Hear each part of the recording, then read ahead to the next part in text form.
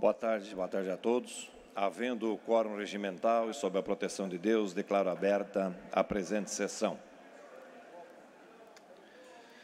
Dou início à quarta sessão legislativa da 19ª legislatura da Assembleia Legislativa do Estado de Santa Catarina. Breves comunicações. Em breves comunicações, concedo a palavra ao senhor primeiro vice-presidente, deputado Nilson Berlanda.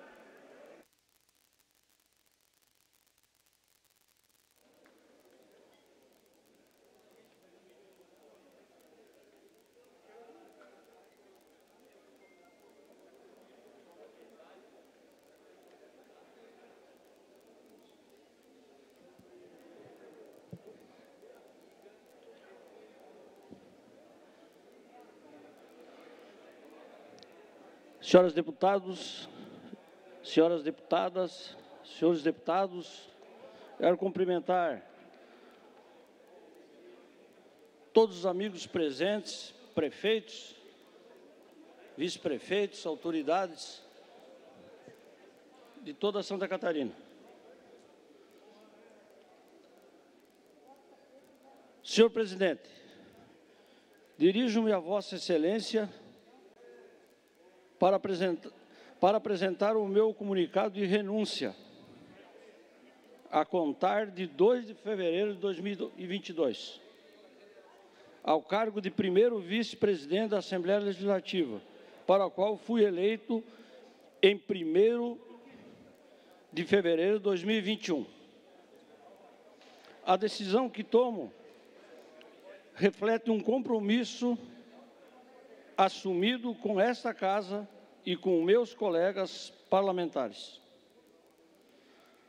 Concluo este ano de mandato à frente da vice-presidência com a sensação, de dever cumprido e com grande honra de ter ajudado o presidente Mauro de Nadal a conduzir os trabalhos da Assembleia Legislativa. A palavra que define esses e outros tantos momentos que vivi no último ano à frente dessa casa é gratidão. Obrigado, Mauro de Nadal, mais uma vez por confiar em meu nome durante este ano. Assumi e me dediquei muito durante esse período, procurando sempre o diálogo e o consenso. Os compromissos foram, foram intensos, especialmente nesse plenário, onde aprendi muito. Mas acredito que cumpri com o meu dever e espero que tenha sido ao contento. Deixando também a minha marca nesse tão importante e honrado cargo que assumi com o voto de meus pares. Na lembrança levo comigo ainda a honra maior de ter assumido temporariamente a presidência desta casa em substituição ao presidente Mauro de Nadal.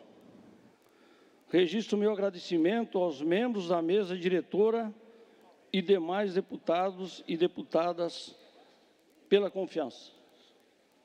Renuncio ao cargo de vice-presidente, mas reforço aqui o meu compromisso em continuar servindo esta casa e os catarinenses como sempre fiz, assim como continuarei com as portas abertas do meu gabinete para receber todos os nobres colegas parlamentares. E neste momento, eu farei a entrega da minha renúncia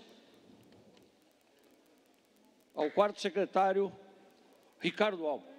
Muito obrigado a todos. Conforme determina o regimento interno, no seu inciso terceiro do artigo 67, solicito ao senhor deputado Nilson Berlanda que proceda à entrega da carta de renúncia ao senhor primeiro secretário da mesa, deputado Ricardo Alba, o qual declarará a vacância do cargo de primeiro vice-presidente desta casa. Senhor presidente, carta do deputado Nilson Berlanda, cumprimentando cordialmente, comunico a Vossa Excelência a decisão que tomei em renunciar, a contar de 2 de fevereiro de 2022, ao cargo de primeiro vice-presidente da Assembleia Legislativa, de acordo com a carta de renúncia anexa. Então, declaro a vacância do cargo de primeiro vice-presidente da Assembleia Legislativa do Estado de Santa Catarina. Esta presidência registra com muita alegria a presença das seguintes autoridades. Excelentíssimo senhor desembargador do Tribunal de Justiça do Estado de Santa Catarina, Dr. João Henrique Blasi. Excelentíssimo senhor desembargador do Tribunal de Justiça do Estado de Santa Catarina, Cid Goulart. Excelentíssimo senhor presidente do Tribunal de Contas do Estado de Santa Catarina, conselheiro Adicélio de Moraes Ferreira Júnior. Excelentíssimo senhor vice-presidente do Tribunal de Contas do Estado de Santa Catarina, conselheiro Erneuze Nadal. Excelentíssimo senhor conselheiro do Tribunal de Contas do Estado de Santa Catarina, Wilson Vandal. Excelentíssimo senhor secretário de Estado da Educação de Santa Catarina, deputado Luiz Fernando Vampiro. Excelentíssimo senhor chefe da Casa Civil do Governo do Estado de Santa Catarina, Heron Jordani. Excelentíssimo senhor diretor do Banco Regional de Desenvolvimento do Extremo Sul, BRDE, Eduardo Pinho Moreira. Excelentíssimo senhor secretário adjunto de Estado do Desenvolvimento Econômico, Jairo Sartoreto. Excelentíssimo senhor presidente do MDB do Estado de Santa Catarina, deputado federal Celso Maldaner. Excelentíssimo senhor secretário adjunto de Estado da Saúde de Santa Catarina, Alexandre Fagundes.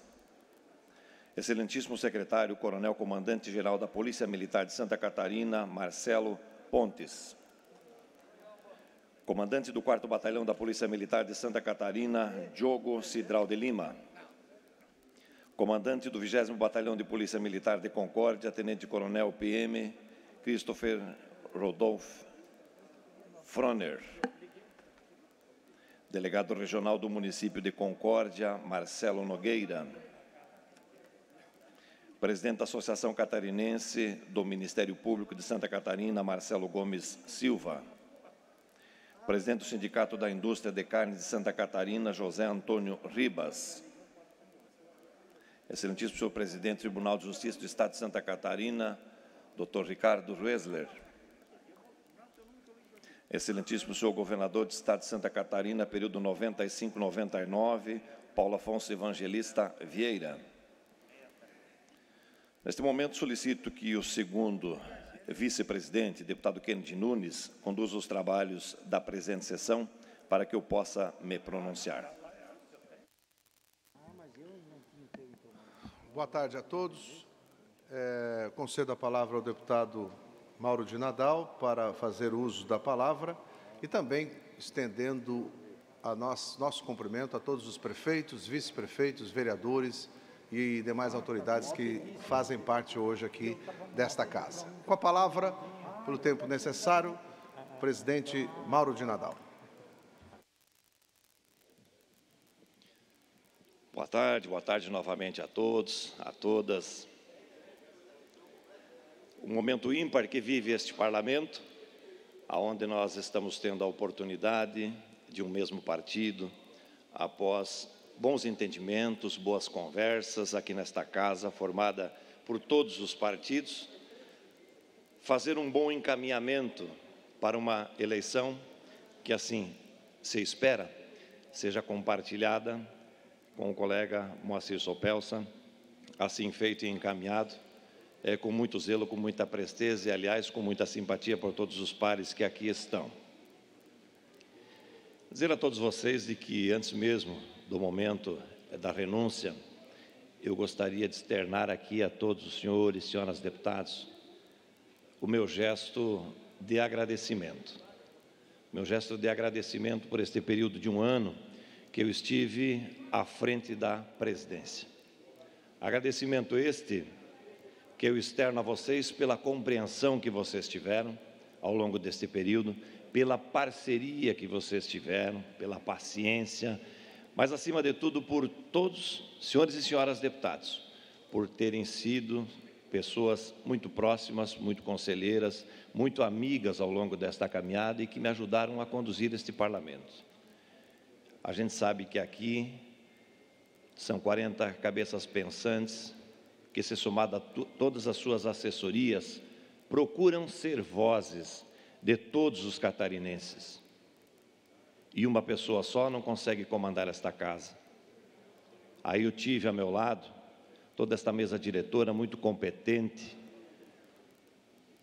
que dividiu comigo as angústias, os desafios, mas que também foram a base forte para a condução e a tomada de decisões importantes que impactassem e impactaram diretamente na vida do catarinense e de nosso Estado. Então, rendo aqui as minhas considerações a toda a mesa diretora que esteve comigo ao longo deste ano, a todos os senhores e senhoras deputados, e digo a todos vocês de que este momento ímpar que passamos como presidente, nós podemos juntos construir um momento diferente em Santa Catarina. Um momento harmonioso, onde a política e os poderes sentaram à mesma mesa para fazer os melhores encaminhamentos. Um período de pandemia, onde todos tivemos que abrir mão de muitas das nossas atitudes do dia a dia para comungarmos com a coletividade, mas acima de tudo colocarmos em primeiro lugar a vida do catarinense. Então foram tantos desafios ao longo deste ano de 2021 e todos esses desafios eu pude, claro, cada qual dos senhores e senhoras deputados dentro da sua ideologia, mas pude contar com a discussão madura, a discussão positiva, uma discussão de resultados. Então, este momento, como disse, o momento em que nós conseguimos marcar na história de Santa Catarina um ano de muitas conquistas aqui nesse parlamento, eu quero dividi-las todas com vocês. Como disse há pouco, esta construção ela não foi feita somente por mim, ela foi feita por todos os senhores e senhoras deputados. Se geramos uma economia histórica aqui neste parlamento ao longo deste período, foi porque vocês nos ajudaram, foi, por, foi porque a mesa diretora esteve ao nosso lado também nos ajudando, foi porque os líderes foram todos pessoas perseverantes, confiantes e me cobraram aquele grande desafio que assumi no dia em que tomei posse de fazer não somente política, mas fazer gestão. Fazer gestão. E aí pude contar com todos vocês me ajudando ao longo desta caminhada. Então nós chegamos hoje, ou melhor, no dia de ontem, dia 31 de janeiro, a cifra de 400 milhões de reais de economia gerada por esse poder. E para onde vai toda esta economia? Esta é uma contrapartida de 40 deputados e deputadas comprometidos com o catarinense e com o nosso Estado. Esse foi o nosso desafio, de juntos fazermos a diferença. Então, se comemoramos, se estamos vivendo este momento, estamos vivendo os 40 deputados conjuntos, porque nós todos fizemos esse trabalho de gestão, de gerir o recurso que é fruto do suor e do trabalho de cada cidadão de Santa Catarina, que religiosamente ao gastar o seu dinheiro, ele paga aos cofres do governo do estado. Isso com certeza voltará para este mesmo catarinense em obras, em investimentos, em saúde, em educação, agricultura, esporte, cultura, lazer e tantas outras áreas, assim consideradas importantes por este cidadão, que espera de nós todos políticos respostas desta natureza respostas positivas.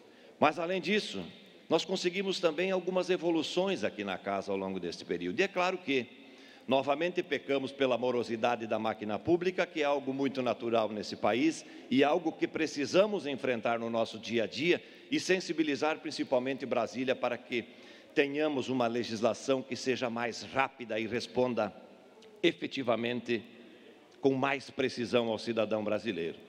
E em virtude disso tudo, muitos daquilo que eram compromissos também assumido com todos os pares aqui da casa, nós não conseguimos efetivar pela morosidade dos processos estatórios. Mas digo a todos vocês de que já está em implementação o sistema Wi-Fi da casa, que vai agilizar por demais nossos trabalhos internos. Hoje temos uma dificuldade enorme em vários setores aqui no ambiente interno do parlamento, e isso vai trazer muito mais facilidade de trabalho, Concluímos a implementação do SEI, que iniciou lá com o nosso querido amigo e presidente, deputado Júlio Garcia, com a mesa diretora que nos antecedeu, fizemos a conclusão. Já estamos implementando e, por pequenos detalhes, não conseguimos implementar também esse sistema digitalizado aqui para a parte do plenário, mas acredito que agora o próximo presidente terá esta oportunidade de fazê-lo nos próximos meses. O nosso restaurante, tão cobrado por todos os nossos servidores, a reforma está pronta. Agora já estão colocando os móveis. E esta é uma das marcas da morosidade da máquina pública. Já deveria de estar pronto, ainda na metade do ano que passou. Criamos aqui na casa a sala dos prefeitos, tentando humanizar cada vez mais as ações deste parlamento. Esta casa abriu as portas e recebe um número bem significativo de prefeitos, e ontem recebemos representantes da FECAM aqui, agradecendo por esta oportunidade que faz com que o prefeito, o vice-prefeito tenha um acesso não só aos seus deputados, mas aos meios de comunicação e a participação de muitos encaminhamentos, quer seja junto ao governo do estado ou do governo federal. Implementamos a defensoria pública aqui dentro da casa, também para facilitar a vida dos nossos colegas deputados e deputadas. Instalamos o Observatório da Mulher, algo inédito no, Brasil, uma conquista das mulheres que ocupam assento a esta casa, uma luta de muitos e muitos anos, hoje é a realidade. A Procuradoria da Mulher, da mesma forma. Concluímos também um trabalho de muita preocupação do nosso ex-presidente Júlio Garcia e que busca transformar a LESC cada vez mais sustentável, todo o sistema de placa solar, também a captação de água, mostrando que nós podemos economizar cada vez mais, mas acima de tudo aproveitar o potencial que temos. Nosso trabalho foi em busca desta harmonia e foi em busca da valorização do catarinense e do nosso estado. E esses resultados todos nós estamos vendo na prática, porque se percebe a felicidade do, nosso cidadão catarinense. E além desta gestão, além de muitos outros projetos importantes, também conseguimos estender ao nosso servidor público do Parlamento Catarinense 15% de reposição. Poderia ter aqui elencado tantas outras ações que, como disse, estou somente agora dando conhecimento disso à sociedade catarinense, porque os colegas deputados e deputadas todos sabem porque me ajudaram a construir e a fazer este momento. Então, muito obrigado muito obrigado pela confiança de cada um de vocês. Tentei construir este ano com equilíbrio, com justiça e com igualdade entre todos os pares. Se pequei nesta condução, não foi proposital. É claro que jamais seria uma pretensão minha contentar a todos, mas fiz sempre com o espírito de agradar sempre a maioria e fazer com que o justo prevaleça. Então me perdoem se por acaso não contentei a todos, mas fiz o máximo de mim. Me dediquei, cuidei desta casa como verdadeiramente o catarinense gostaria que eu cuidasse, como se fosse minha.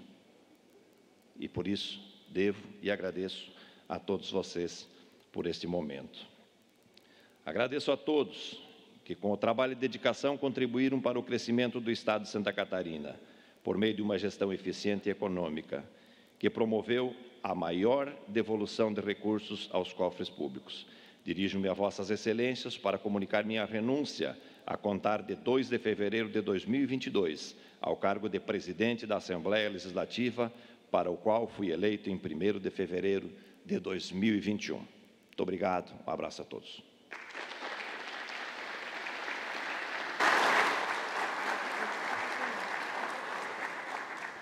Agradecendo o deputado Mauro Nadal, que faz uso da palavra e entrega a sua carta de renúncia.